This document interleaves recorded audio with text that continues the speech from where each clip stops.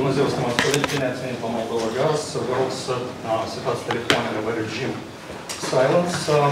În câteva clipe va începe contentul de presă a domnului Călin Cervan. Evenimentul o să fie compus din două compartimente. Primul, parte introductivă, care o să dureze circa 20 de minute și aici veți vedea mai multe infografii.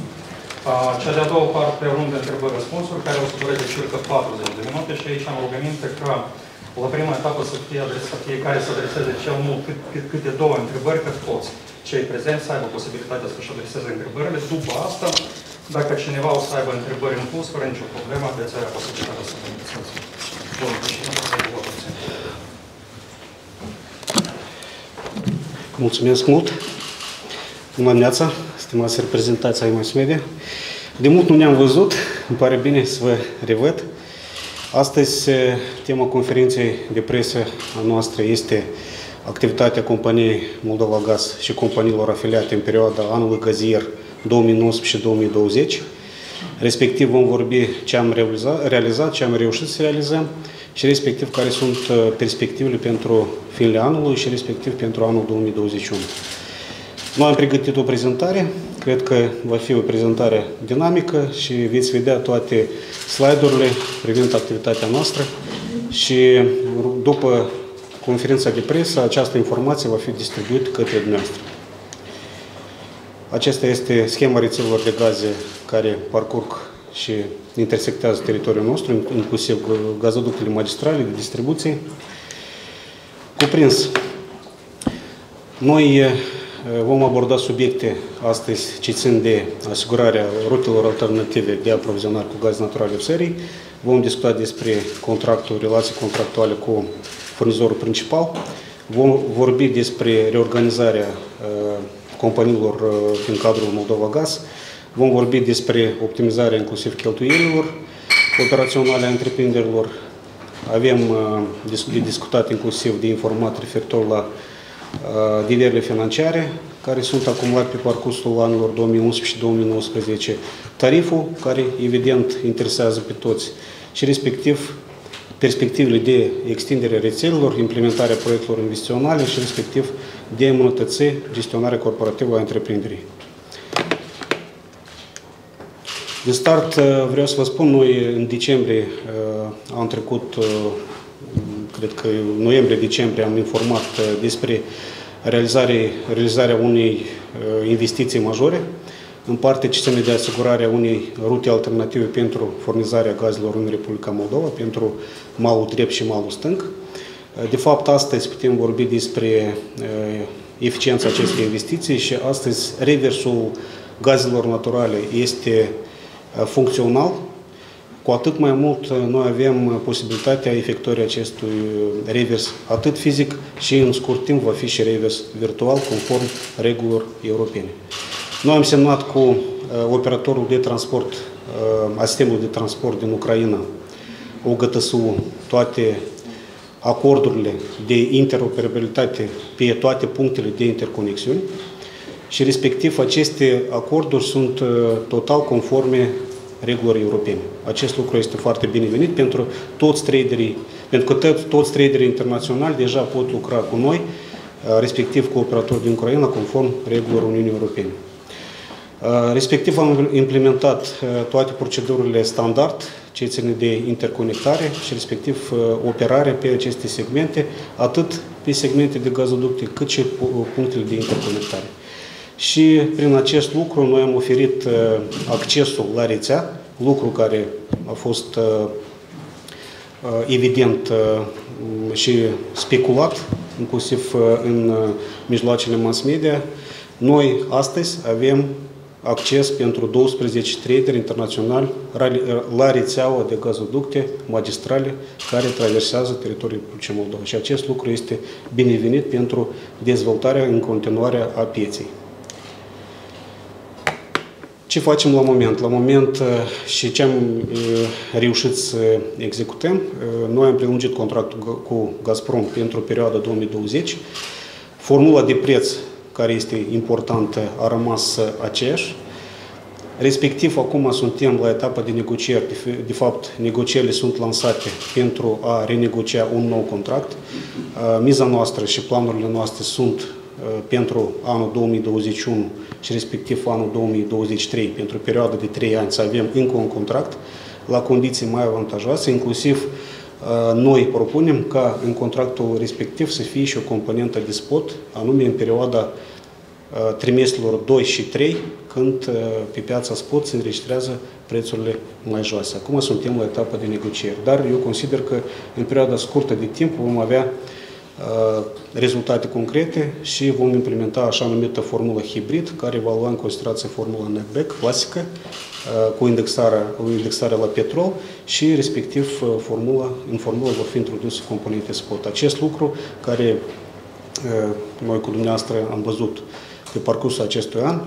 Pentru următoarele slide-uri vom vedea și detalii tehnice, comerciale, dar asta este, acesta este un obiectiv pentru noi în perioada 2020 și 2021-2023. Sperăm că în scurt timp deja vom avea rezultate concrete și respectiv vom informa dumneavoastră și publicul larg privind rezultatele obținute. Noi am lansat reorganizarea companiei Moldova Transgaz. Noi am lansat reorganizarea inclusiv a întreprinderilor noastre de distribuție. Anul acesta, de fapt, noi suntem în perioada de reorganizare foarte activă. În septembrie-octombrie așteptăm aprobarea statutelor noi, în redacția nouă, de către organele de conducere, în primul rând Consiliul de Administrație, Consiliul de Observatori. Suntem în relații și în contact direct deschis și foarte constructiv cu regulatorul, cu ANRE, cu Secretariatul Comunității Energetice. Avem un dialog foarte productiv și sperăm până la finele anului și începutul anului 2021 vom reuși realizarea unui obiectiv major, crearea unui operator independent de transport conform prevederilor pachetului 3 energetic, adică Moldova Transgaz. Referitor la întreprinderile de distribuție gaze, cunoașteți că avem 12 întreprinderi de distribuție. Avem în plan, conform deciziei Consiliului de Administrație pentru anul acesta, până la finele anului, creăm o singură întreprindere de distribuție și acest lucru va fi foarte benefic și va crește eficiența de activitate și respectiv va fi benefic pentru consumatorii finali. Un obiectiv major inclusiv avem optimizarea cheltuielilor operaționale și creșterea eficienței. Aici vom vorbi pe lanț, atât la furnizare, transport și distribuție. Pe acest slide este prezentată structura organizatorică funcțională la moment a companiilor, companii sa Moldova Gaz și companiilor afiliate, partea stânga roșie, în roșu. În partea stângă, care este în albastru, această structură va fi după finalizarea reorganizării companiilor din cadrul sa Moldova Gaz. Deci vom avea o singură întreprindere de transport care va fi conformă prevederilor legislației europene, pachetul 3 energetic, Moldova Transgaz, va fi o singură întreprindere de distribuție, cu un singur tarif de distribuție, evident divizat la diferite, valoarea căruia va fi divizat la fiecare nivel de presiune. Vom avea și creăm o companie de furnizare a gaze care va fi responsabil pentru furnizarea gazelor către consumatorii uh, finali. Va fi creată o întreprindere uh, care se va ocupa cu activitatea auxiliară. Uh, avem această idee și respectiv va fi compania Transautogaz va fi subordonată direct companiei adică companiei Mama Moldova Gaz. La moment această companie este în fondatorul acestei companii este Moldova Transgaz, ceea ce conform pachetului energetic 3 nu este posibil. Deci noi deja am preluat administrarea Transautogaz direct de către Moldova Gaz. În scurt timp va fi finalizată reorganizarea acestei, acestei companii și fondatorul direct va fi Moldova Gaz. Și avem o companie care, de fapt, va continua. Aici noi avem în plan crearea unui institut corporativ. Noi avem compania Flacăra Albastră, care se ocupă, activitatea de bază a ei este instruirea cadrelor și respectiv această companie va suferi anumite optimizări și reorganizare. Deci, de fapt, vom avea 8 întreprinderi afiliate companiei Moldova Gaz. Această schemă este schema așa numită de funcționare pe orizontală și va permite Moldova Gaz să, să funcționăm în condițiile de piață când piața de gaze va fi liberalizată. Moldova Gaz va avea ca o funcție, noi sperăm că va fi păstrată activitatea de trading, anume pe piața angro de gaze naturale și respectiv vom oferi servicii pentru transportatori sau pentru trader, servicii de organizare a transportului pe teritoriul Republicii Moldova. aceste servicii sunt, de exemplu, oferite de către, la moment ca exemplu, de către Naftogaz, către Gazprom. Dacă vorbim despre uh, perioada respectivă, uh, noi am pus uh, ca obiectiv și ca sarcină să optimizăm cheltuielile. În perioada respectivă noi am uh, efectuat economii și considerăm că economii considerabile pe tot lanțul, începând de la consumuri tehnologice și pierderi în rețele până la consumuri de materiale sau cheltuieli materiale, uh, alte cheltuieli. În total noi avem circa 188 de milioane uh, economii pe tot lanț, atât la furnizare, transport și distribuție. Uh, vedeți acolo, uh, efective sunt în albastru, cele planificate sunt în oranj și efective sunt destul de bune aceste indicatori comparativ, comparativ cu cele planificate. Acest lucru ne-a oferit posibilitate inclusiv pentru a păstra, menține tariful în anul trecut, despre care vom vorbi ulterior. Acesta este structura tarifului uh, și noi am uh, dezvoltat această aplicație, respectiv uh, acest infografic, pentru a înțelege mai clar din ce este compus tariful final de furnizare. Tariful mediu de furnizare pentru consumatorul final este 4420 de lei. Evident, sus vedeți, în dependență de nivelul de presiune, tariful diferă. Respectiv, mai jos sunt componente și circa 71% din tarif componenta aparține prețului de procurare. Componenta 25,9% e componenta de distribuție, adică este o componentă destul de mare circa 26%, restul uh, transport, uh, transport, uh, tarif pentru furnizare și respectiv diverele financiare. În tariful din 2018, diverele financiare a fost recalculat în valoare, în sens minus de reducere, respectiv noi arătăm că diverele financiare au influențat pozitiv în favoarea consumatorului în perioada când a fost 2018. Acest lucru, în principiu, uh, am menționat în slide precedent despre economii, uh, am menționat despre uh, prețul de achiziție. Deci, în tarif, în 2018, prețul de achiziție a fost introdus 178 de dolari. Anul trecut, prețul mediu a fost peste 2224 de dolari. Noi n-am solicitat majorarea tarifului, altfel în august trebuia să solicităm majorarea tarifului cu 20%, acest lucru n-am făcut. Noi am găsit economii și rezerve pe intern.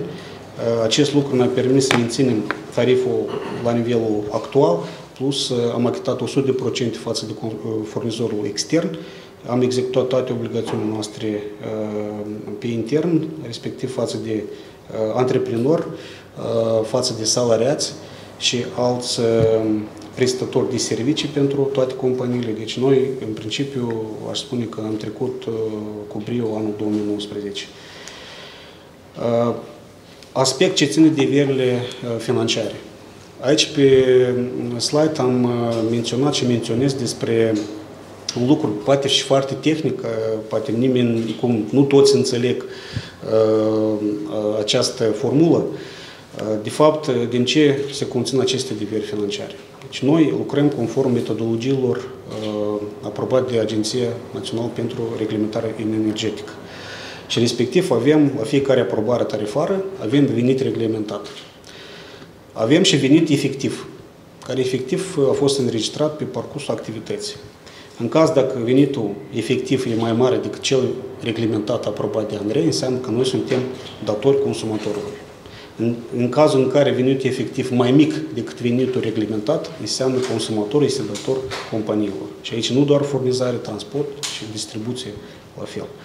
În 2020, în februarie, am ajuns la un consens, eu zic că consens, am agreat cu Agenția Națională pentru Reglementare Energetică și prima dată în istorie, cred că a fost mediat acest caz de către Comunitatea Energetică, Secretariatul Comunității Energetice, de către Centrul de Mediere, la care noi am ajuns la valoarea determinată a acestor deviri financiare, care problema aceasta nu a fost rezolvată pe parcursul anilor 2011-2019.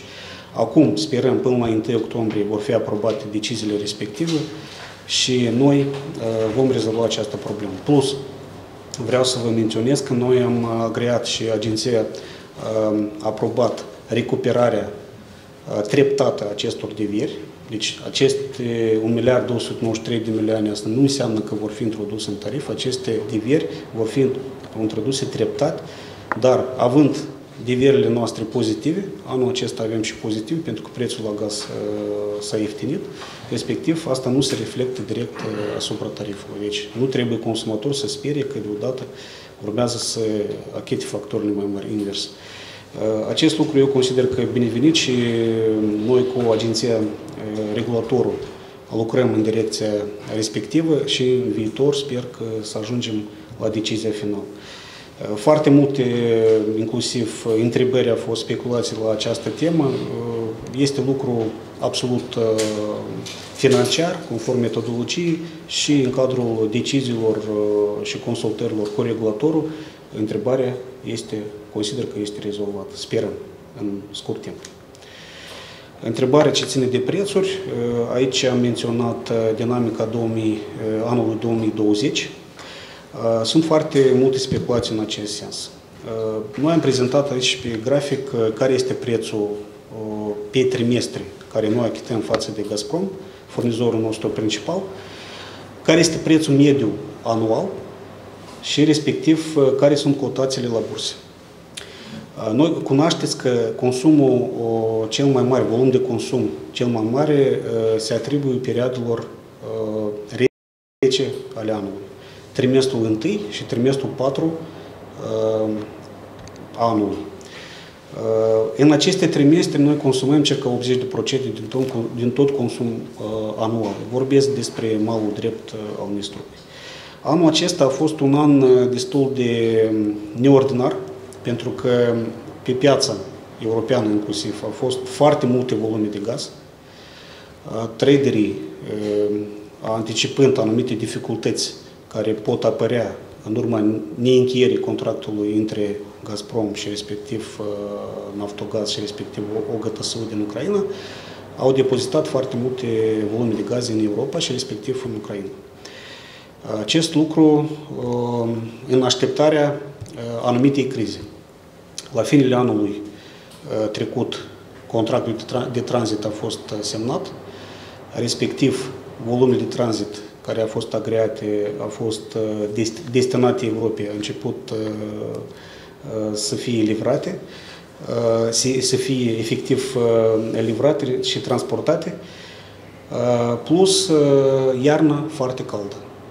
Iarna foarte caldă și plus încă avem criza pandemică COVID-19 care a influențat foarte drastic consumul, atât în industrie cât și în sectorul electroenergetic în Uniunea Europeană.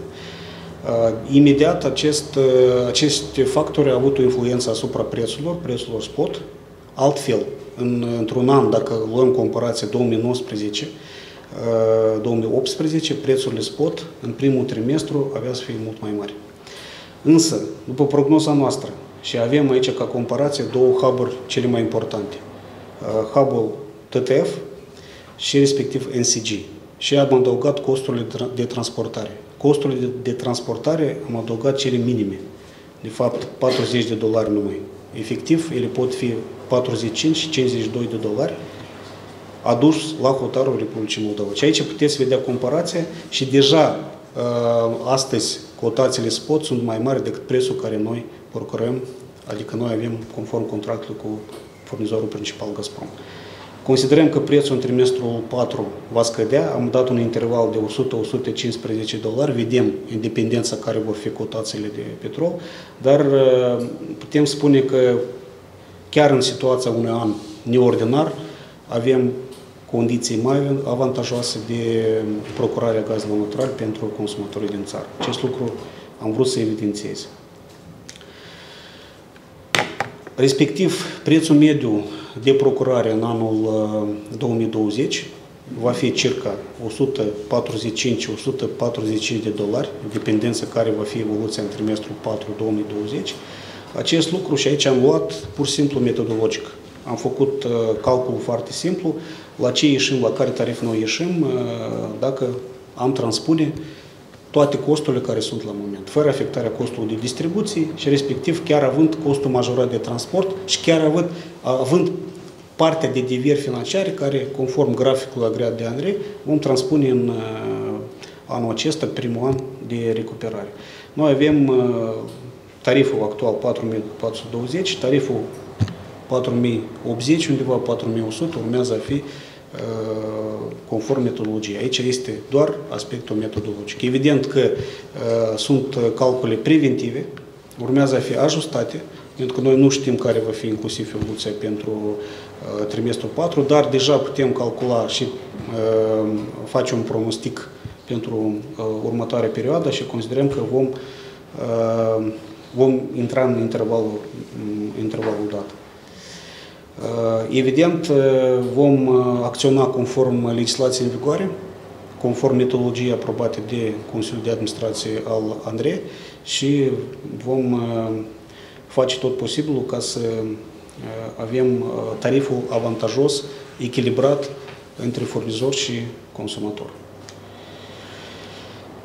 Care sunt planurile pentru uh, extinderea rețelelor de distribuție a gazelor naturale și reparația capitală acestora? Deci, uh, noi uh, am analizat uh, solicitările care parvin din partea, partea autorităților publice locale, și aș spune că anul acesta noi am lansat o, o, o, companie, o companie de gazificare mai mare.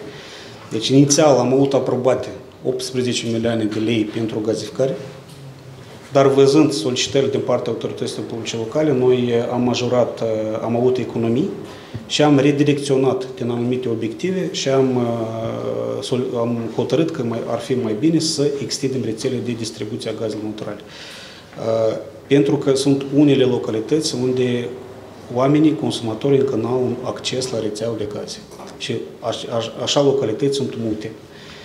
Uh, anul acesta 56 de localități din 30 de raioane, circa 123 de kilometri vom construi și circa 2800 de consumatori potențiali, dar credem că vor fi și mai mari, mai mari la, vor fi conectați la rețea. Uh, noi continuăm modernizarea uh, punctelor de reglare gaze, uh, introducem aceste puncte mai eficiente din punct de vedere a consumului și funcționalității. Mai departe, avem în plan renovarea parcului de autospeciale. Și aici vreau să menționez. Deci, parcul nostru de auto speciale este învechit.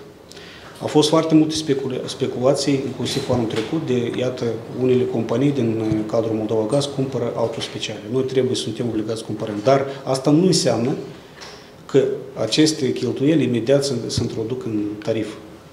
Deci, aceste investiții sunt aprobate de Andrei. Sunt absolut necesare pentru funcționarea sistemului pentru securitatea rețelei de distribuție și de transport gaze. Și acest lucru nu influențează absolut uh, la uh, valoarea tarifului, pentru că uh, sunt planurile care se aprobă anual, noi raportăm, sunt tendere efectuate, efectuate conform procedurilor ANRE și aici noi respectăm toate regulile de transparență.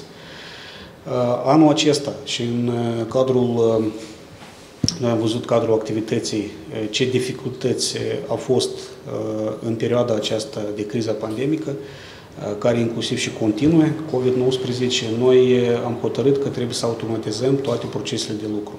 Și aici sunt foarte mari investiții în sectorul echipamentul IT și implementarea proceselor automatizate. De fapt, automatizarea sistemului va fi ca un obiectiv de bază pentru perioada următoare.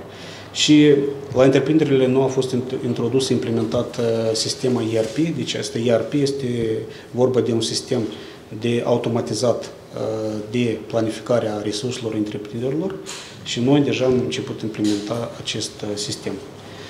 Lucru benefic pentru, inclusiv în contextul automatizării sistemului. Ce am făcut perioada aceasta pentru a fi mai confortabil interacțiunea între consumator și furnizor de gaze. În primul rând, deja noi am introdus nouă factură, factura care prevede consumul istoric.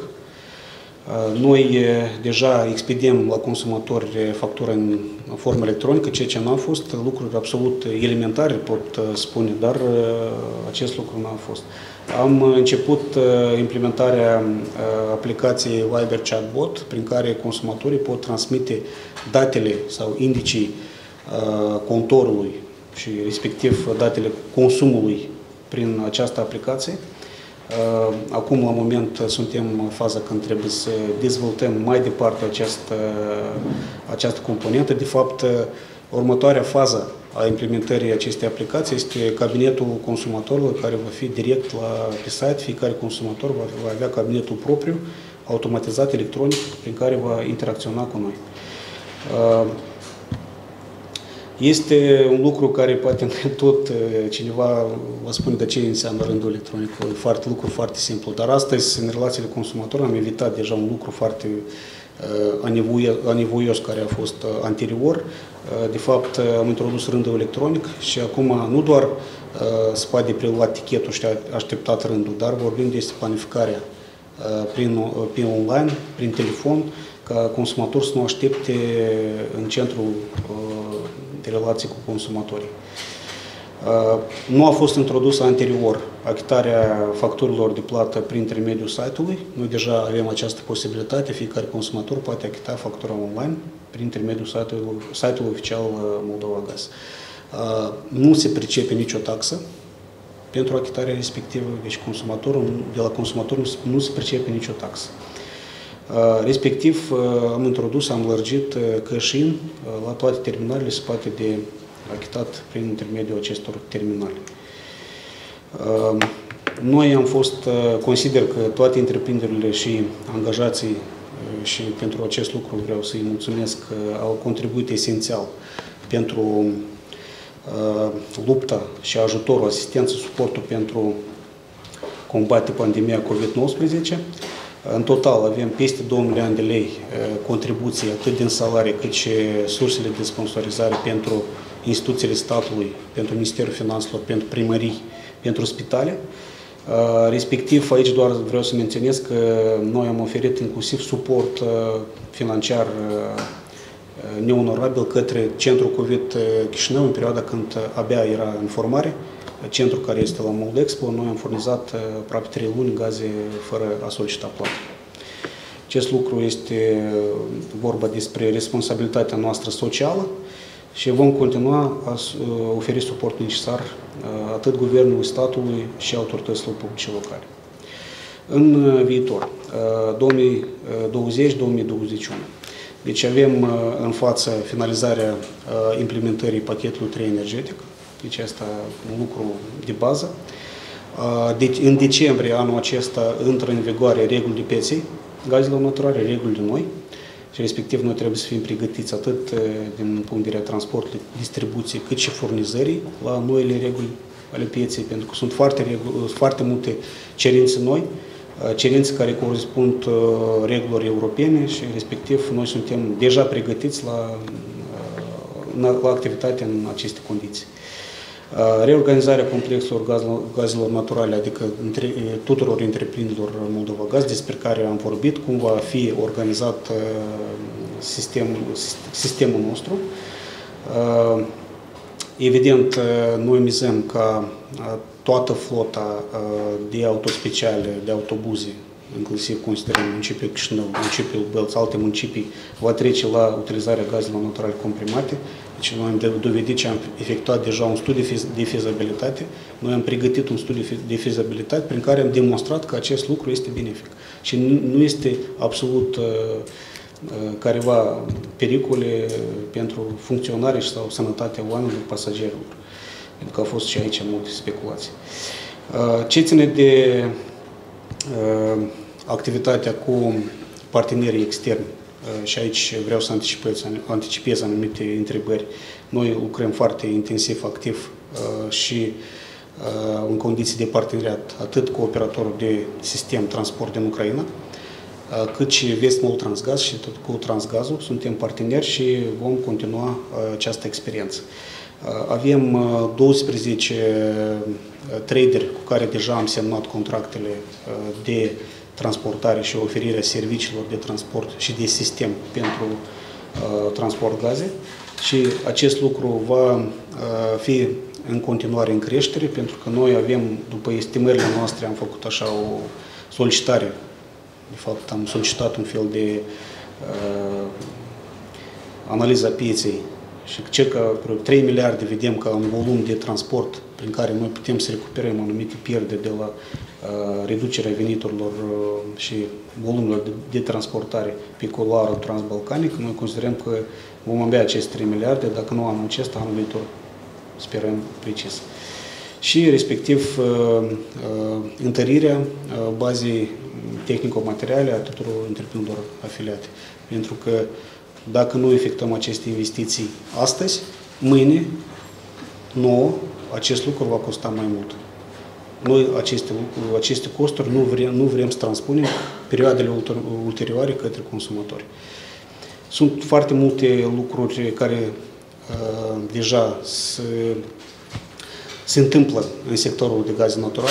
Sperăm că noi vom face față la aceste provocări și vom fi pregătiți pentru, din toate punctele de vedere pentru uh, noile provocări. Perioada imediat următoare avem unele lucruri foarte importante. E vorba despre pachetul 3 energetic, vorba despre uh, semnarea unui nou contract cu Gazprom și respectiv uh, finalizarea tuturor litigiilor cu Agenția Națională pentru Reglementare Energetică, că scoatem această problemă care nu a fost rezolvată ani la rând. Deci acestea fiind spuse, sunt deja gata să răspund la toate întrebările noastre. Vă mulțumesc. Poftiți, colegi, pentru că vă poftiți. Domnule Ceva, ați vorbit despre extinderea rețelei de distribuție. A fost majorat bugetul până la 52 de milioane de lei.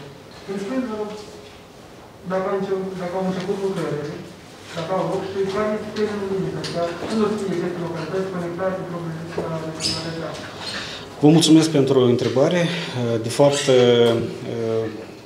noi deja am început lucrările, deja unele, în unele localități aceste lucrări deja se finalizează. Ca obiectiv avem până la începerea perioadei rece a anului, zicem 15 octombrie să finalizăm toate lucrările. Acest lucru este posibil. Din aici, a, poftit și a de-a doamnă Cât la sută din localități rămân neconectate la Uh, foarte bună întrebare. De fapt, uh, despre acest lucru cred că trebuie să organizăm o conferință de presă separată. Uh, noi dorim să extindem rețele. Dar este un moment care trebuie să precizăm. Uh, anterior, uh, pentru a aduce gaz către localitate, urma, urma a fi construite gazoductele interrurale, între două localități, de exemplu. Uh, ca să atingem la nivel de, noi avem acum circa 62% din localități gazificate. Și este o discrepanță foarte mare. De exemplu, unele raioane sunt gazificare, gaz, gazificare la nivel de 96%, dar sunt raioane, de exemplu, raionul uh, Fălești, Glodeni, nivelul de gazificare este 21%. Pentru a gazifica raionul Fălești și Glodeni trebuie să construim gazoducte interrurale. Statul, respectiv bugetul, n-a avut aceste posibilități. Acum, la moment, noi examinăm și suntem în discuții cu regulatorul Uh, cu Ministerul Economiei și Infrastructurii, prin care noi putem uh, efectua acest lucru, cu evident, dacă convenabil și respectiv eficient. Dar considerăm că undeva pentru a aduce acest procent la 73 de 73-75 de procente, nivelul de gasificare, noi urmează să construim undeva 300, la 3, valoare de 302 milioane de lei numai gazoducte interrurale, asta fără a intra în localități. Acest, această sumă destul de impunătoare, deci nu, întreprinderile noastre nu, pot, nu vor avea aceste surse, pentru că sunt sume foarte mari. Dar treptat, și noi deja vedem perspectiva pentru cel puțin patru gazoducte interrurale anul viitor. Noi cred că vom introduce în plan, sperăm agenția va examina și aproba și noi putem anul viitor în localități unde gazificarea este la nivel foarte redus să crește, pentru că sunt foarte multe solicitări. Sunt solicitări de la localități care au 5.000 de consumatori, nu 5.000 de loc, case de locuit, populație de 5.000 de exemplu, îmi cer scuze, 5.000 de populație, circa 1000 de consumatori precis, asta 1000 de consumatori este, sunt, este un număr destul de mare, impunător, pentru că noi putem să mergem pe formă respectivă, dar evident, independența și în limita surselor care sunt la dispoziția noastră. Геннадий Дворяну, Виконуючий вам, скажите, вы сказали, что в результате реорганизации будут организованы пластминусные предприятия.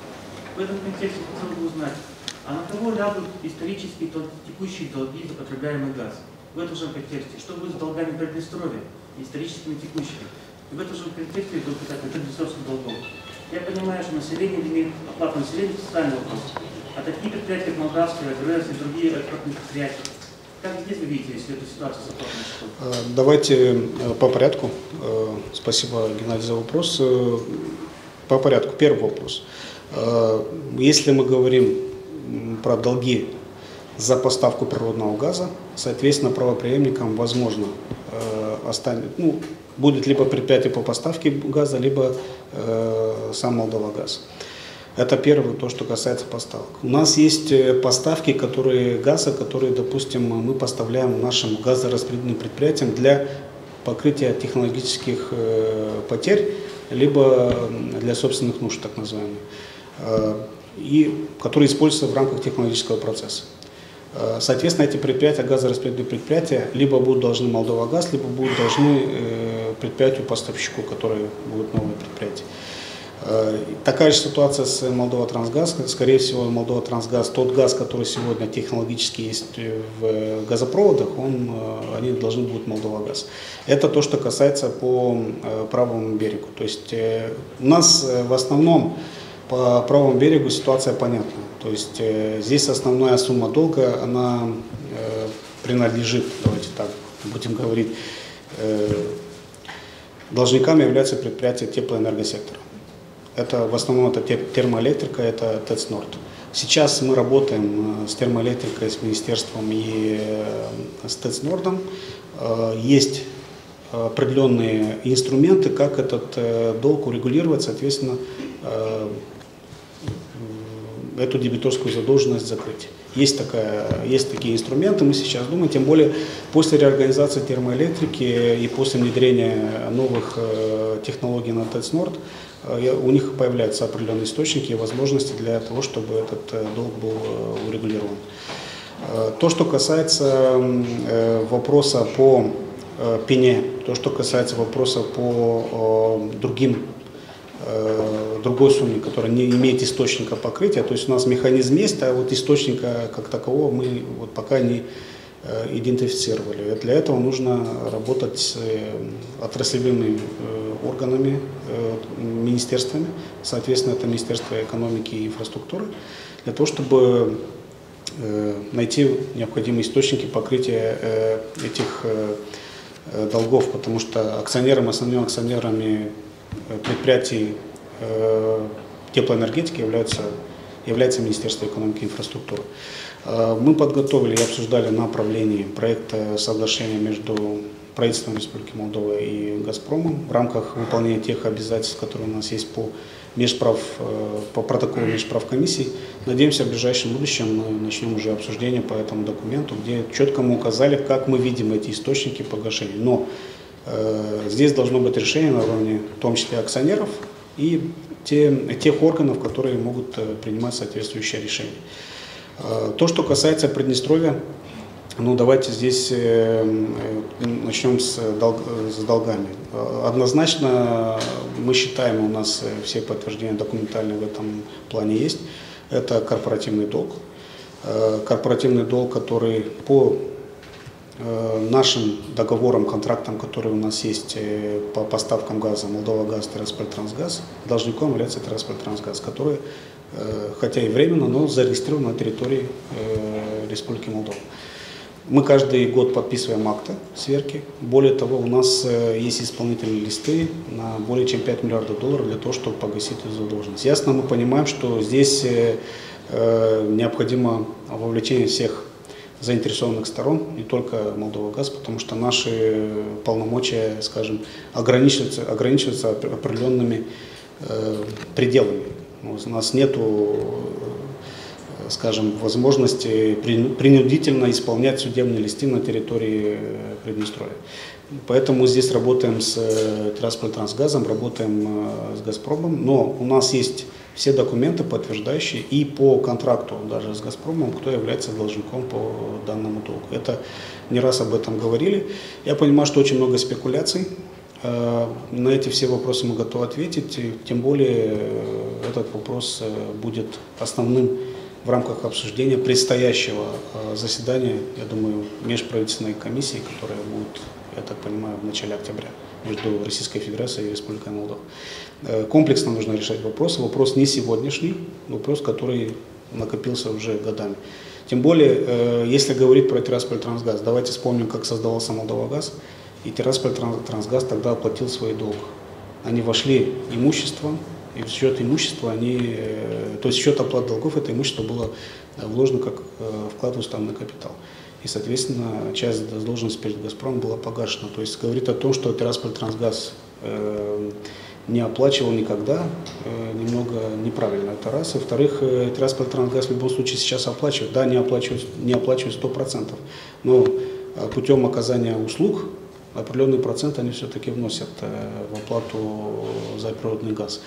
Э, это решения, которые должны быть решены на уровне э, Молдова газ, органов управления. Мы считаем, что Террасполь, Террасполь Трансгаз и, соответственно, э, Приднестровье как акционеры должны полноправно работать в рамках э, предприятия Молдова Газ, вернуться э, в поле корпоративной деятельности, и здесь мы должны это все обсуждать. Сегодня в реестре акционеров АО «Молдова Газ» одним из акционеров числится э, Приднестровье. Поэтому это наша территория, это наш акционер, и мы должны эти вопросы решать.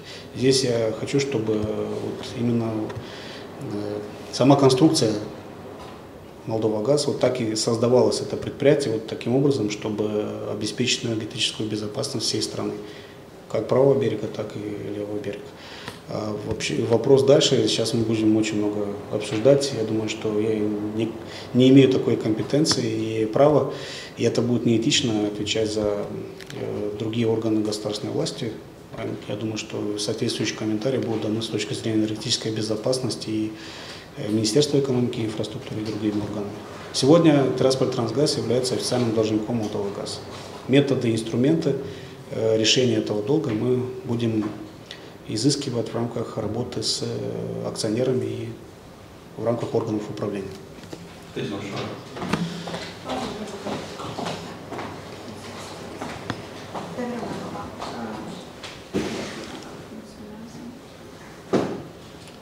Da, eu cred că vă aud.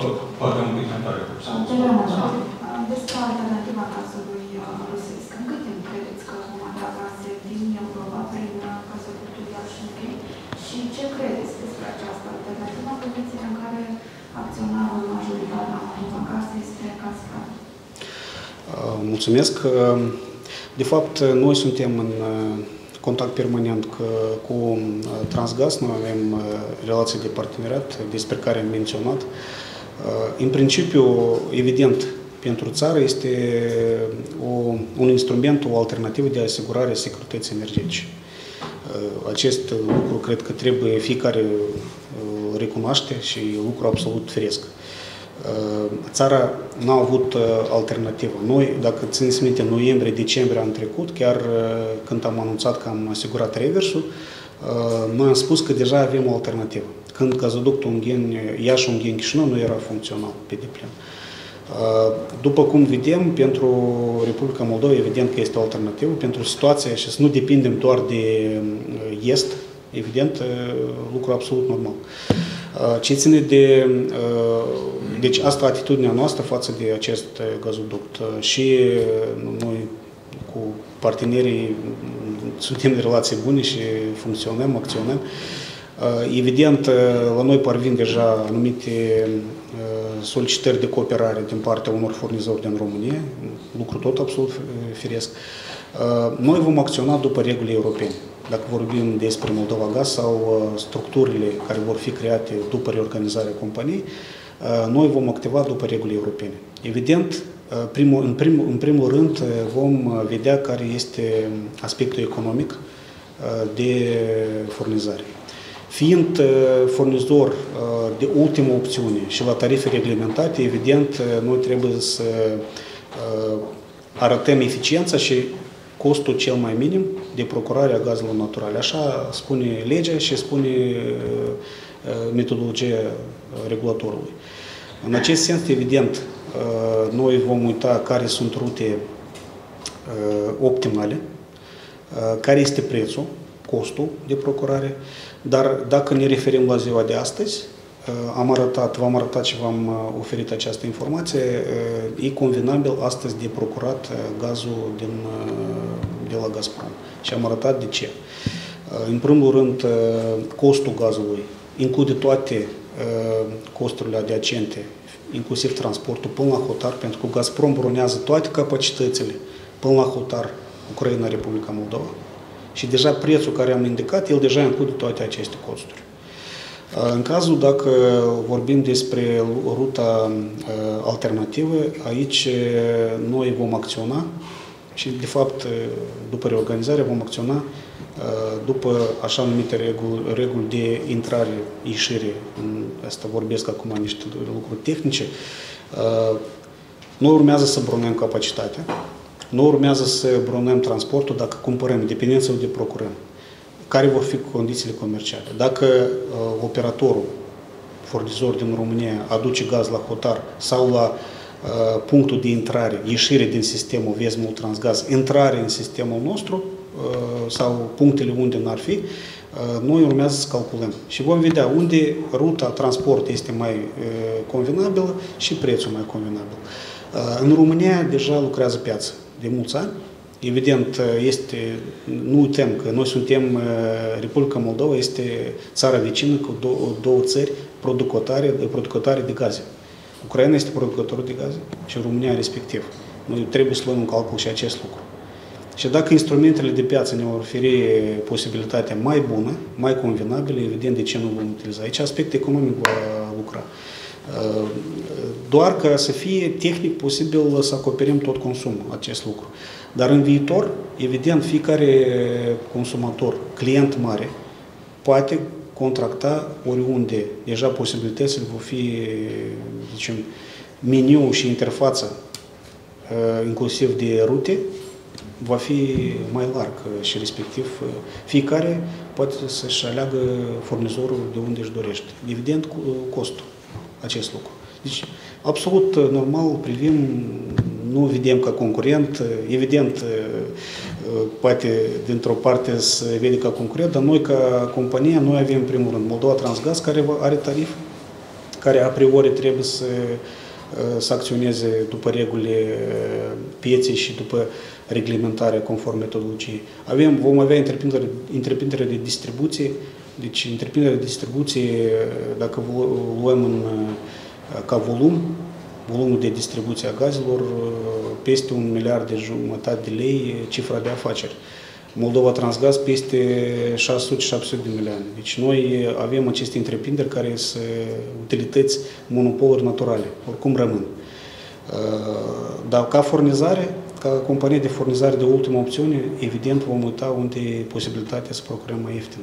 Că asta e lucru absolut firesc. Dar astăzi situația este că Gazprom oferă condiții mai bune.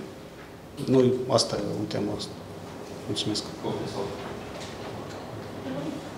Некоторые людей. Здравствуйте. Петр Иванович, портал МВД. Такой вопрос. Сегодня говорили о том, что возможные формулы гибридные, которые будут э, покупаться газ у «Газпрома». В чем преимущество и в чем риски для Молдовы?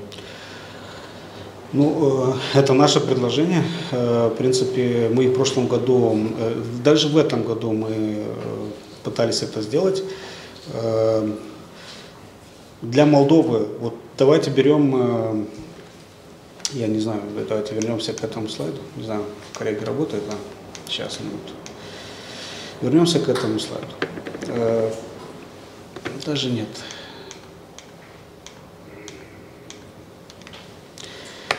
Э, Вот э, у нас действует формула NetBack.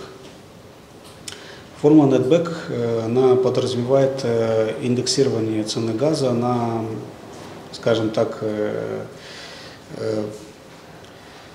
на нефть, нефтепродукты, дериваты нефтепродуктов, производные нефтепродуктов. То есть на газоль и мазут. Там пропорции 50 на 50. Что это означает? Это означает, что э, наша цена э, на газ зависит от цены поставки э, газа «Газпромом» в страны дальнего зарубежья и индексация на эти коэффициенты. В зависимости, как идут котировки на газоль и мазут. И каждый, значит, у нас есть- есть временной лаг, 9 месяцев. И каждые три месяца у нас корректируется цена, исходя из последних среднеизвешенных цен на эти нефтепродукты, приводится конкретно на дату, на первое число конкретного квартала. Так вот, исторически вот эта формула NetBack для Республики Молдова была выгоднее. Почему? Потому что э, вот в первом квартале так как 9 месяцев предыдущие это попадал четвертый квартал, попадал, э, попадало, попадал второй, третий квартал и второй квартал, это цены, когда на нефтепродукты, они, ну нет потребления такого, они снижались. Соответственно, давали нам эффект в первом квартале. Мы платили меньше. По сравнению со э, рынком спот, то есть цена на хабов, которая была э, дороже. И это всегда, вот возьмите последние 10 лет, оно так и было. В этом году, да, ситуация была по-другому. Но сейчас, это, в этом году, это он был не такой, необычный год. Почему я сказал? Из-за того, что теплая зима, из-за того, что э, большие объемы газа, из-за того, что пандемия COVID-19. Это все сложилось и оказало определенное давление на спотовые цены. Газа много было, потребление меньше. Спрос меньше был, чем предложение. Обычно не так зимой. И то же самое происходит в четвертом квартале. А в первом четвертом квартале у нас потребление в зависимости от сезона это 80-85%. То есть нам выгодна эта формула. Она, ну, э, такой контракт, он ну, идеальный для нас. Но в этом году мы заметили, что э, в втором-третьем квартале, и это уже коммерческий вопрос, в втором-третьем квартале цены на хабах были значительно дешевле, доходило 50-70 долларов. Даже с учетом транспортировки мы были ну, в определенный момент не конкурентоспособны. Но в вторых и третьих кварталах мы потребляем, потребляем самое меньшее количество газа, объем газа низкий потребление. Поэтому мы считаем правильным считать стоимость. Считать среднеизвешенную стоимость в целом по году. И когда считаем стоимость, то в деньгах мы платим меньше. Вот это основной аспект. А если мы, интру- э, мной, э, если мы включим, извиняюсь, Петя, если мы включим э, в тариф, не в тариф, а в формулу еще и компоненту спот, то для нас это будет выгодно, и мы будем конкурентоспособны исключительно для промышленных потребителей и в летний период времени, э, весенний и летний период. Это второй, третий квартал. Это апрель до октября. И это важно с точки зрения коммерции. Здесь бизнес. Должны держать потребителей, это нормально. Давать лучшие условия, тем более в рамках либерализованного рынка. Это нормальная коммерческая практика, которая используется, э, э, допустим, и в Румынии, и в Украине. Что будет дальше? Надо смотреть, надо анализировать. Румыния и Украина полностью либерализовали рын- рынок. Сейчас э, идет, э, есть централизованный гарантированный поставщик, допустим, это Нафтогаз, он устанавливает цену. Либо на месяц вперед, либо среднегодовую цену, годовую цену. Цена полностью отражает э, NCG. Вот этот хаб, который об этом говорил, вот хаб NCG, по-моему, он э, красным э, обозначен. Э, Это немецкий хаб. Это самый такой ликвидный хаб, который сейчас есть более-менее э, рядом с нами. И вот по NCG э, вот такие цены сегодня с учетом транспортировки. То есть э, рынок это хорошо, но Украина еще и страна-производитель. Мы не являемся страной-производителем. У нас нет такой гибкости.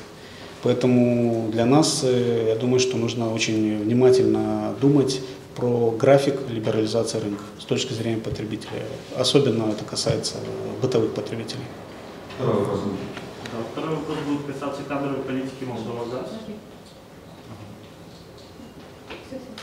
А, Ну, не секрет, что при во времена правления демократов, а, то есть во времена правления демократов, то есть очень много кадровых изменений происходили по политическим мотивам. А, Изменилось ли что-то в Молдова ГАЗ? Э, Может, есть примеры, которые ну, не совсем не совсем хорошие примеры, по которым можно судить, что каким-то образом по политическим мотивам были назначены, э, в том числе на руководящие должности. То есть что изменилось в этой ситуации? Была ли решена проблема? Ну, если мы говорим про кадровую политику, вы имеете в виду газораспределительные предприятия, наверное, да? Больше? Ну, Молдова газ? Ну, Молдова газ в целом или нет, предприятия? В целом. Э, э, ну давайте, давайте, давайте э, конкретно, если говорим про кадровую политику нашу, то я могу сказать про членов правления. Про членов правления, которые недавно были утверждены в этом году. Э, Двое из них, ну, я не имею в виду себя, я говорю двоих, э, это Александр Шевчук и Илья Тутунару. Это люди, профессионалы, которые поработали в системе э, от, ну, от 5 и более лет. Если мы говорим про газораспределительные предприятия, то не было, ну скажем, по-моему, из 12, по-моему, мы, у нас были изменения только в, из 12 предприятий, только в половине из них. Остальные профессионалы, профессионалы остались и работают до сих пор. Они были утверждены тоже 10 лет э, э, 10 лет назад, некоторые, некоторые 5 лет назад. И я вот не следил, какой период правления какой партии были вот, э, или коалиции. Э, Если человек профессионал, э, то он работает. Если у него есть определенные, скажем, у нас требования и не выполняются определенные обязательства и планы, то, соответственно, принимаются определенные решения. Это нормальная практика. Нету такой, э, у нас такого нет.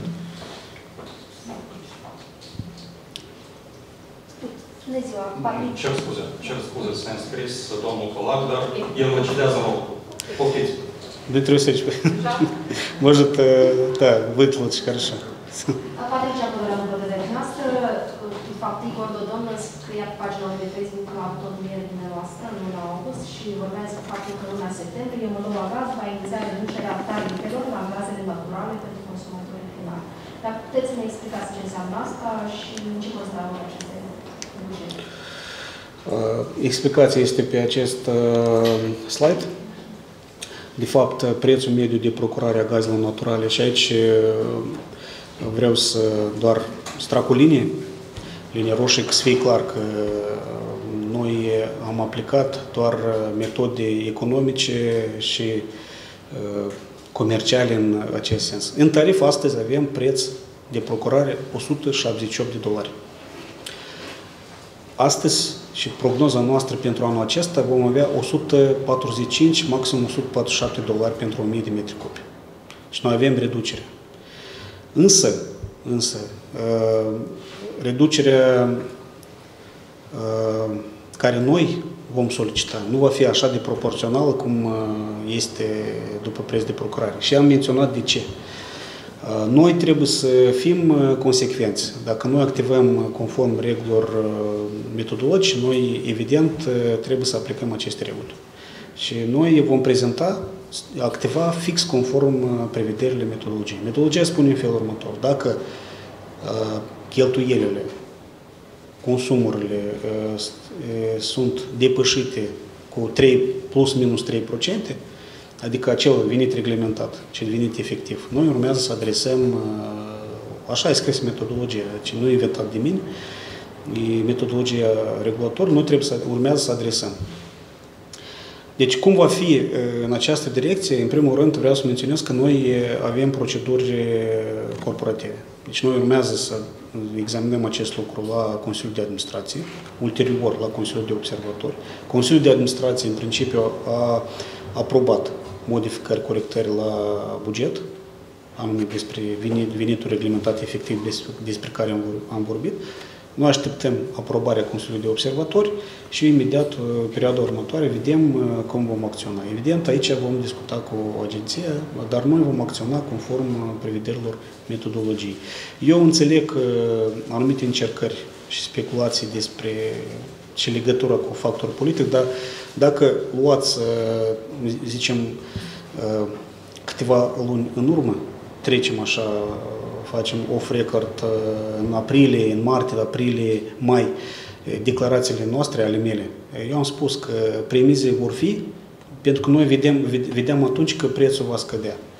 Și noi sperăm în trimestrul 1 2021, prețul nu va fi, va fi în uh, intervalul de cel mediu prognozat, chiar mai jos decât noi prognozăm 145 dolari. Dar eu nu pot spune ce va fi în trimestrul 1 2021, dar Astăzi, situația este în așa fel că prețul de procurat și iată, vedeți cum uh, este 2018 albastru și prețul de procurare în 2020. Iată sus chiar. Cheltuieli pentru achiziție gazelor naturale și chiar tarif. Am introdus chiar calcul tarifului.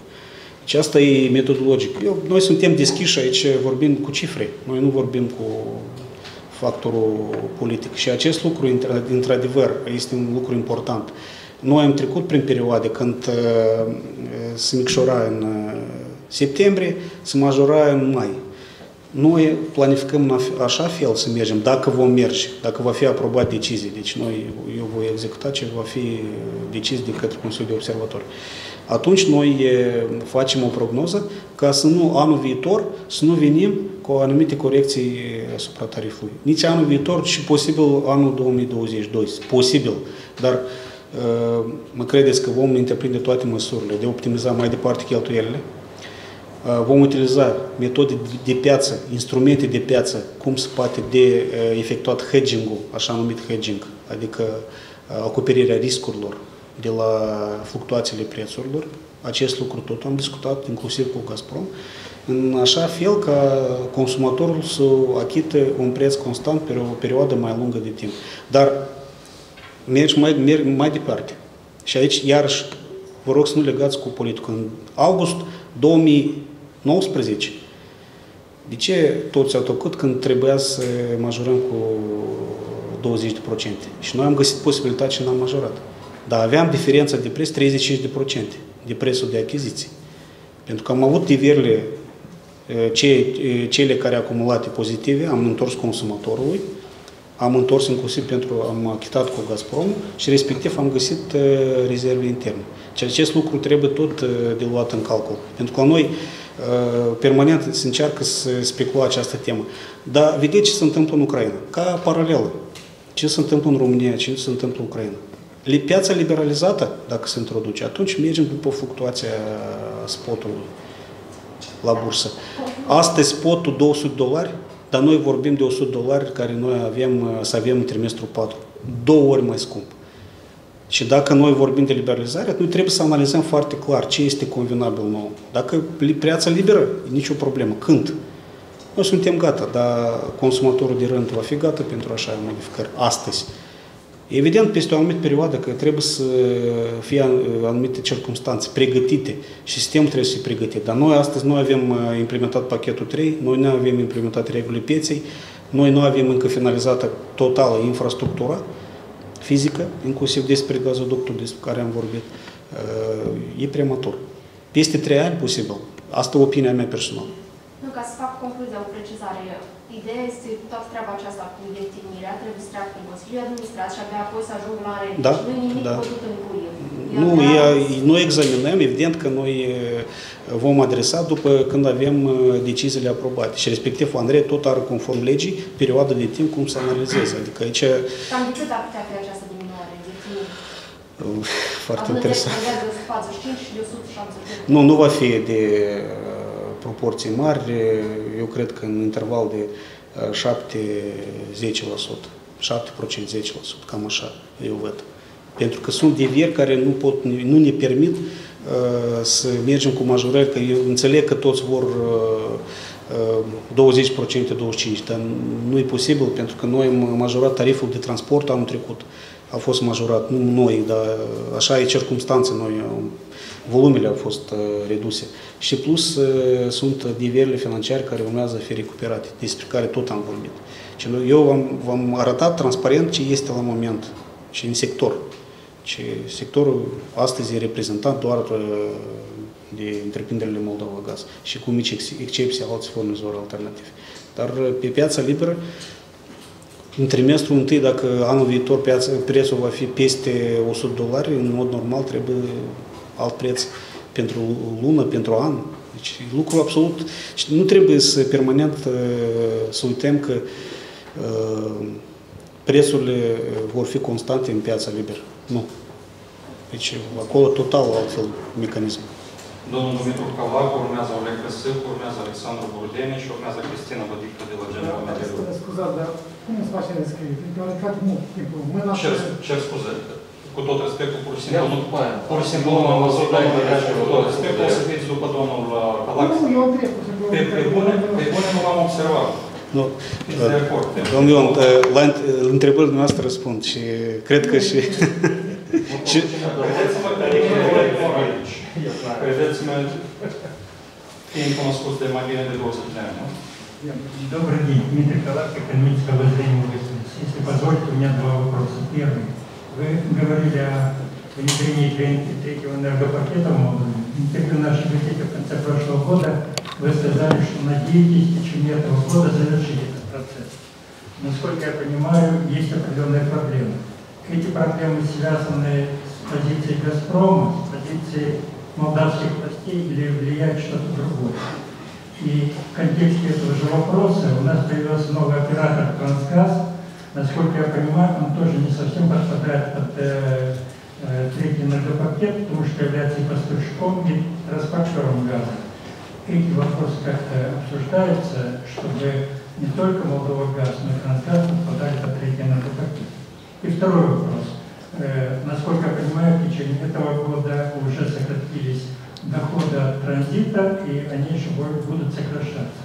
За счет чего вы намерены компенсировать эти потери? Спасибо. Первый вопрос, э, ответ на первый вопрос. э, Позиция э, акционеров, она уже обозначена в, путем утверждения детального плана реорганизации и внедрения третьего пакета в декабре прошлого года. Этот план утвержден МРЭ и согласован с секретариатом энергетического сообщества. Единственный, как- единственная, которая, которая проблема сейчас есть, я которую вижу, это временные рамки которые были, э, будут, возможно, скорректированы с, э, учетом э, пандемии COVID-19. А Остальных, соответственно, каких-либо препонов нет. В принципе, все документы, проекты документов разработаны.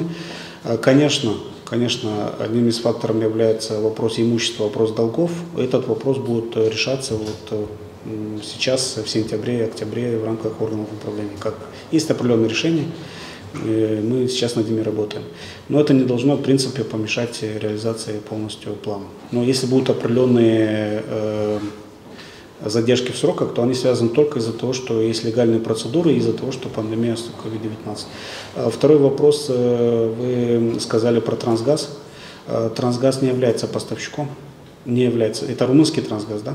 Они являются оператором газотранспортной сети, они не являются поставщиком, они не имеют права по третьему пакету и быть пос- поставщиком. А, Ну, в принципе, это не поставщик, он, э, э, это компания, которая управляет э, газопроводом, обслуживает его, то есть новый газопровод. А доступ к сети они обязаны предоставить всем, в том числе и нам, что они и делают. Третий вопрос. За счет, да, мы знаем, после внедрения третьего, третьего, говорю, турецкого потока, извиняюсь, э, упали, э, э, упал- упали доходы, в том числе объемы транзита и доходы по транспортировке по трансбалканскому коридору, по нашему традиционному маршруту. Мы сейчас работаем и дали доступ к сети международным трейдерам, который сегодня готов работать, в том числе через метод и физического, виртуального реверса по транспортировке газа, газа э, с Болгарии, Румынии в Украину и э, с Украины, э, с Украины в Румынию и Болгарию. То есть эти возможности сейчас есть. Поэтому думаю, что какой-то объем транспортировки мы сможем отыграть. до 3 миллиардов кубов в год. Это примерно так- такие наши планы, исходя из того анализа рынка, который мы провели. Ну, не мы, а Молдова Трансгаз. То есть сейчас пока отвечает за Молдова Трансгаз тоже. Олег, если можно, очень лаконично, чтобы затем господин мог задать вопрос. Про, про модные вопросы этого лета. А вообще есть какие объемы газа на спотовом рынке, чтобы удовлетворить все потребности Молдовы, если там цены вот э, как летом были ниже? То есть это первый вопрос.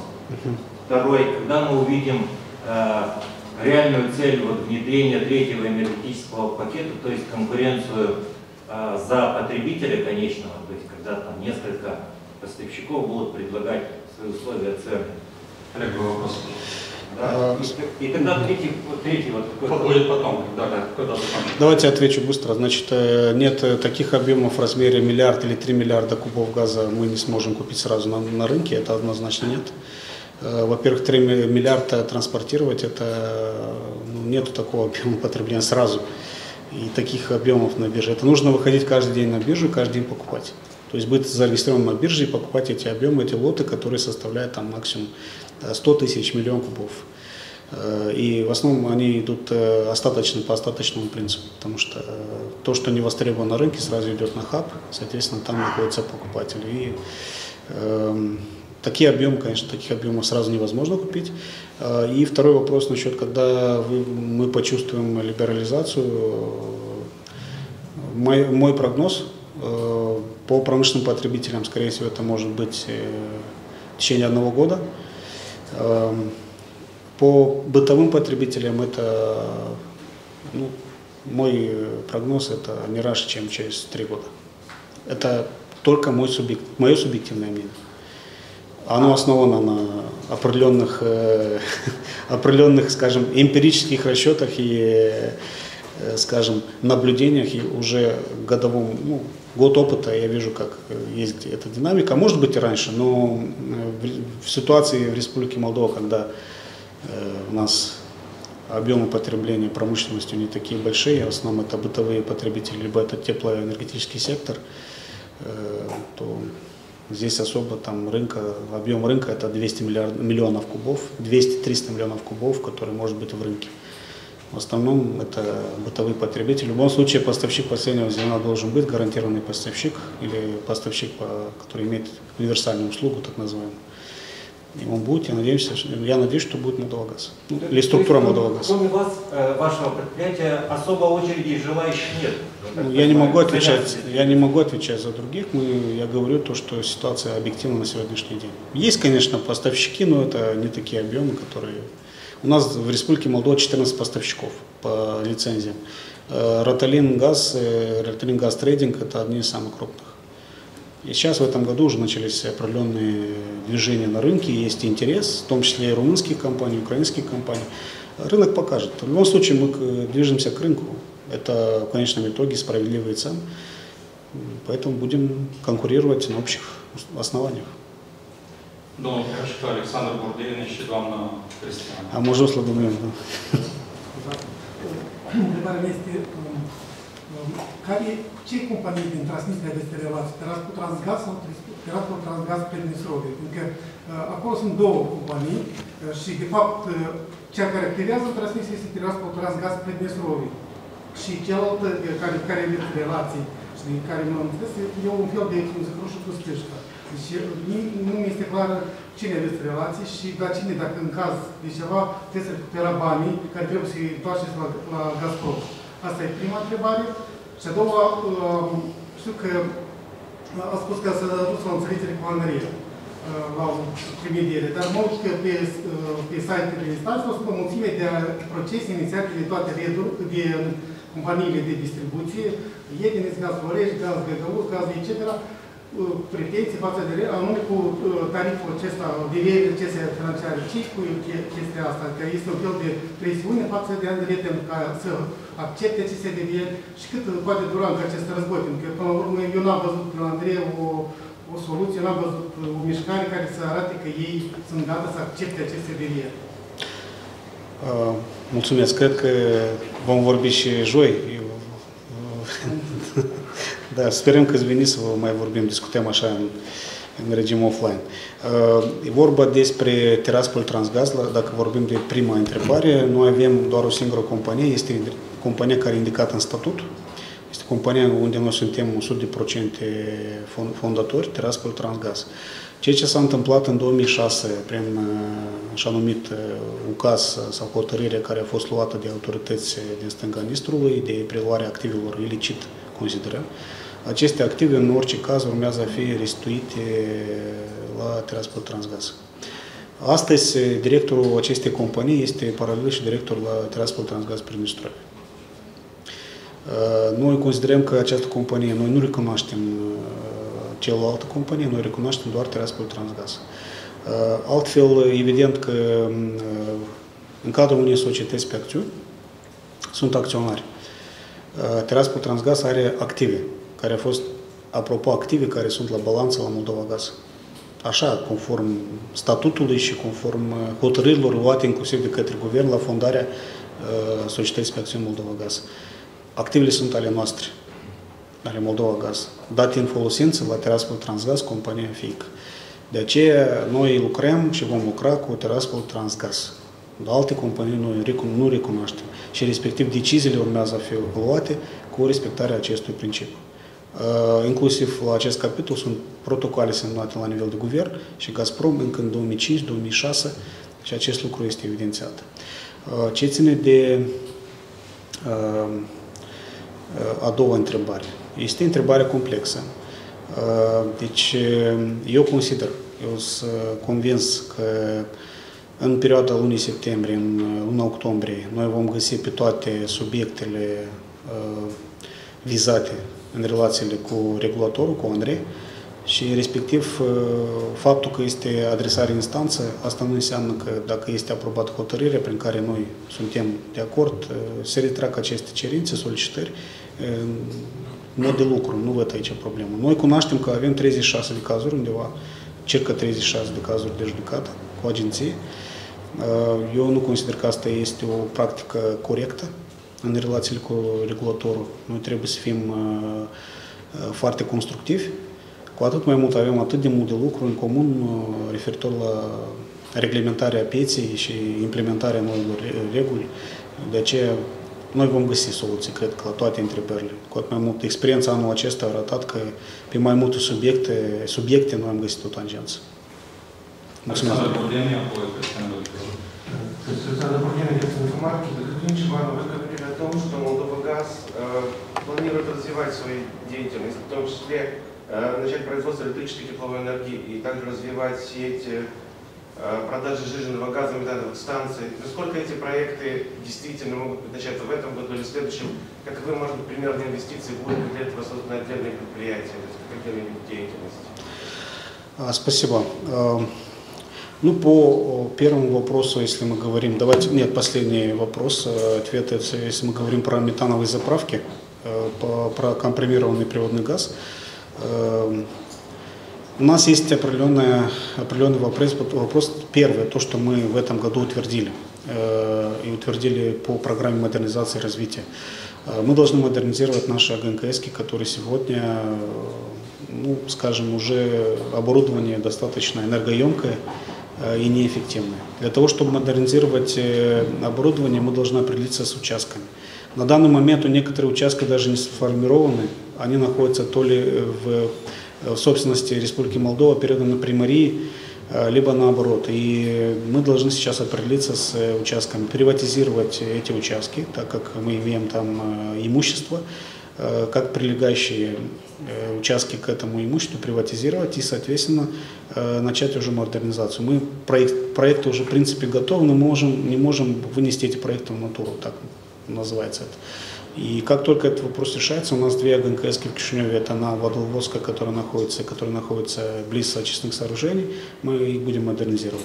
Далее у нас есть четыре АГНКС, э, одна в, мы планируем в Кишиневе, при выезде в сторону Южного автовокзала, и у нас есть в Унгенах, Кагуле э, и Веденцах. Э, то есть это по программе развития. Но основной это первый этап, это модернизация. Пока заняты оформлением, э, бумажной работой, оформлением э, документов собственности на эти участки. Это очень долгий процесс.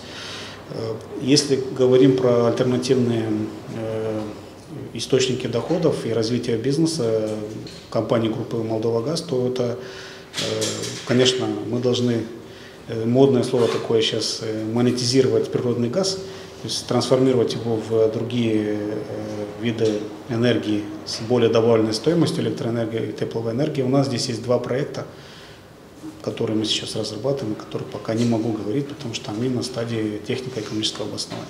Однозначно в холдинговой структуре, если мы говорим про холдинговую структуру, здесь э, с правой стороны, то здесь э, Молдова Газ э, будет больше похож на холдинг, как сама головная материнская компания, которая может развивать и другие виды бизнеса. То есть здесь, в принципе, понимание есть. И дело не только в электричестве и теп- тепловой энергии, также мы заинтересованы в сжиженном углеводородном газе, это пропан-бутан. Развитие этого рынка тоже интересно, потому что традиционно Молдова Газ группа, группа компаний занимается этим видом бизнеса. То есть это разработки есть, пока, пока, скажем, коммерческой информации разглашать не могу. Popescu. Друзья. În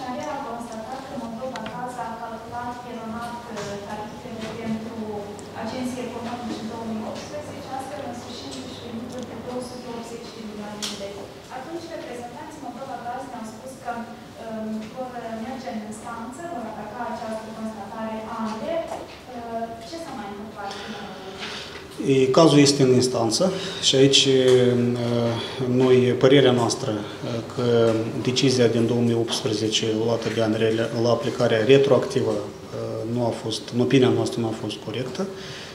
Vom vedea care va fi decizia instanței. Doar că atunci, în cazul consumatorilor casnici, au fost caractere retroactive.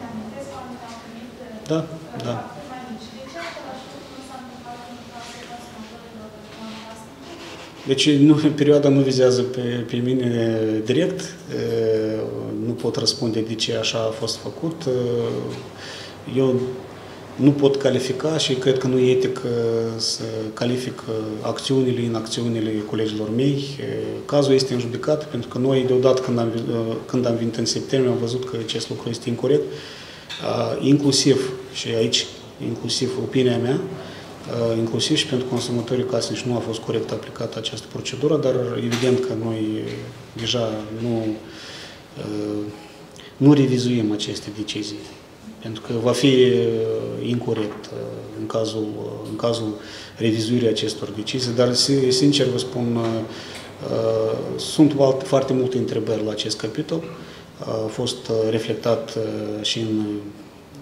zicem, de către experții, bloggerii care scriu pe probleme energetice. Uh, Și aici nu pot comenta, în afară că cazul este în instanță. Cum va fi decizia instanței, noi vom aplica pe măsură. Și mai- Cea de-a doua. Da. Mai vreau să întreb, uh, în funcție de când veți uh, face aceste propuneri la, propuneri la REP privind definirea uh, tarifelor la gaze, cam când ar putea să se definească uh, de fapt? Eu nu pot să vă spun, eu încă o dată mă rep- mă repet că odată cu aprobarea deciziilor de către organele de conducere, noi vom acționa conform metodologiei.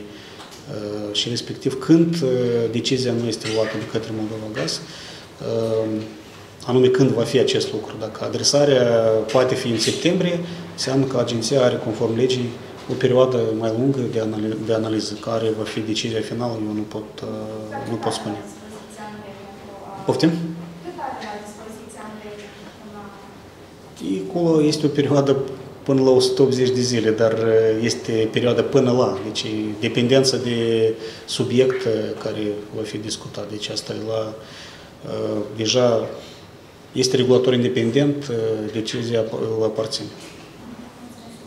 Da, Poftiți mai sunt tot șanse de întrebări. Agenția Sputnik Moldova. Vreau să vă întreb, dumneavoastră ați vorbit despre gazoductul Iași și Chișinău.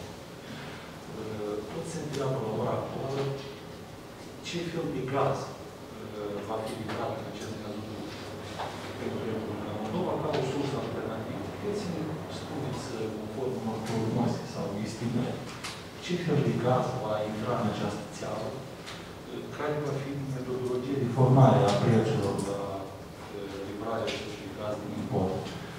Și dacă va fi un preț mai mic uh, comparativ cu gazul uh, importat de la Gazprom. Mulțumesc. Eduard, am răspuns la întrebare, dar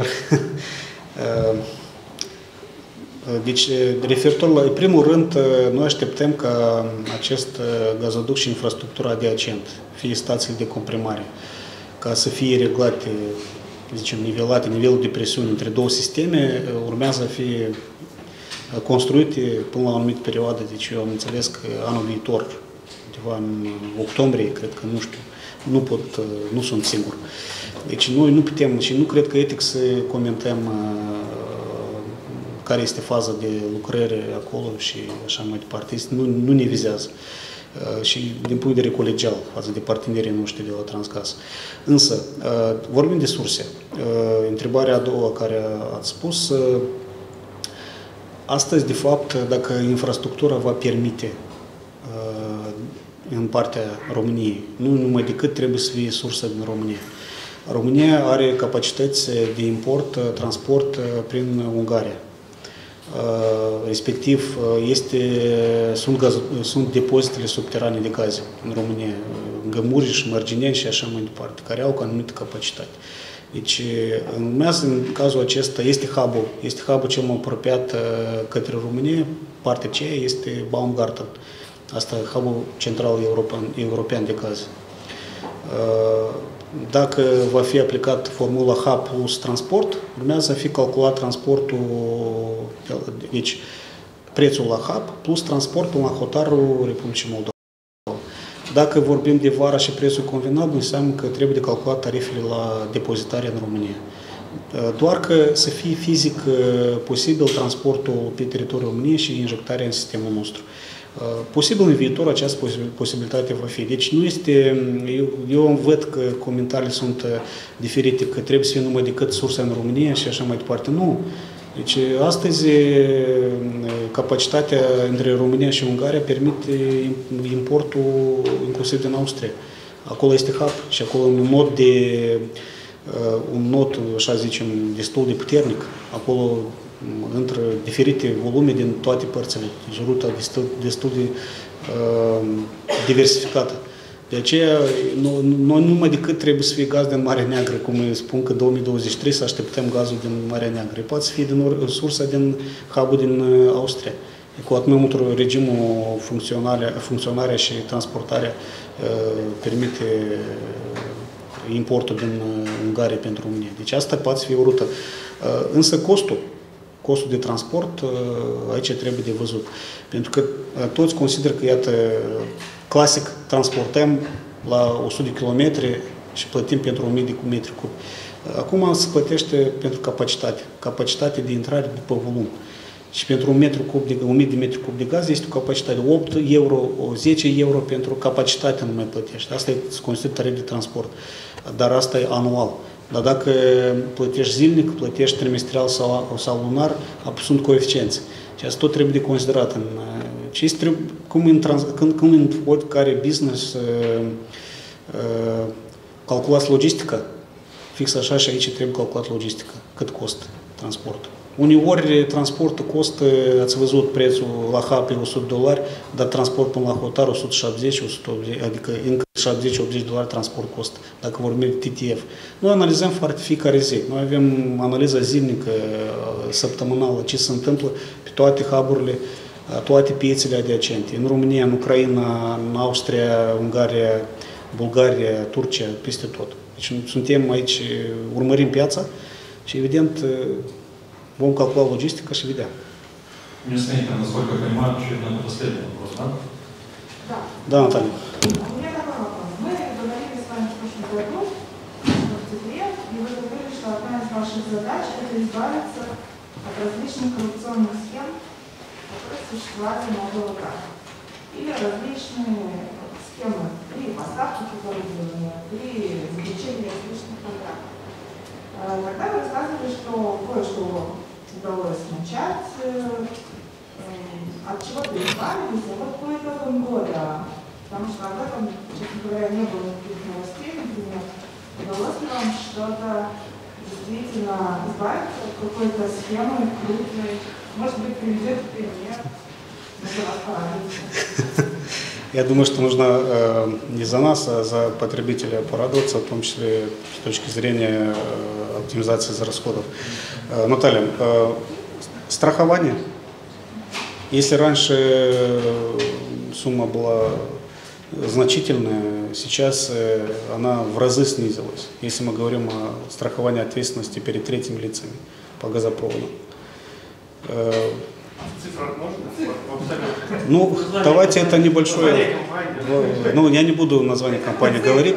Э, Давайте так, если мы говорим по, скажем, были 17-18 миллионов лей в год, сейчас это 500 тысяч, э, 600 тысяч по всем предприятиям. Есть экономия, существенная экономия.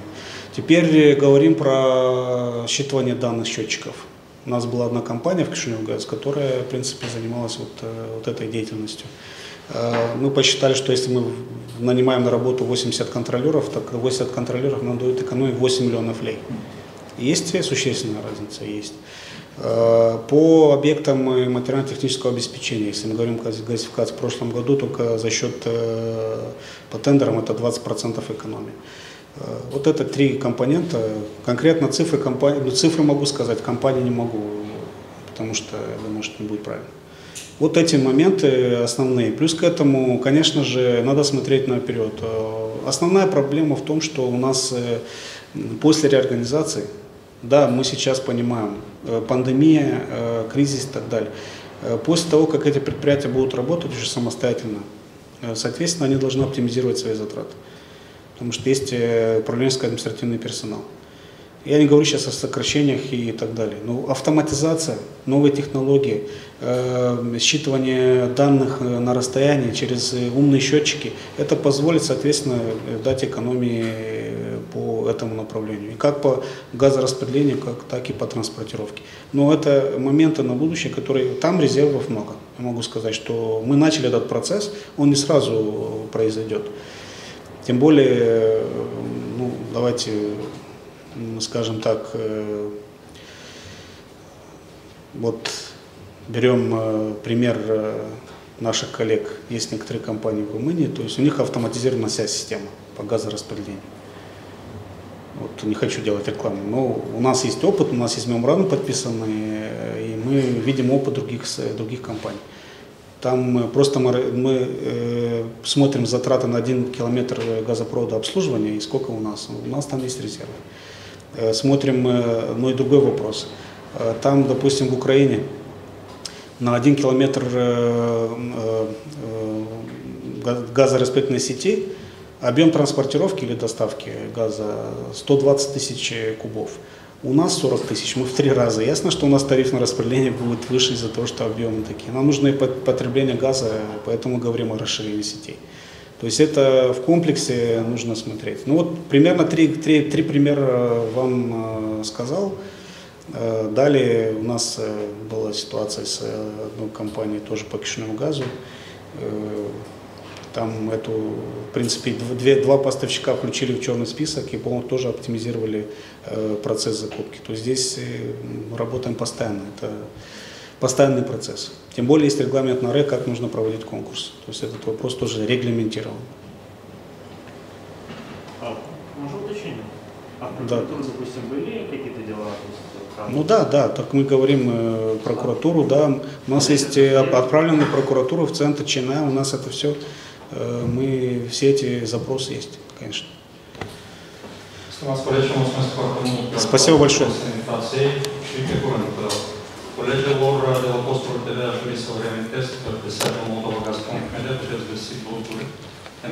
HD. Ще сен пада на YouTube, а не Mulțumesc mult!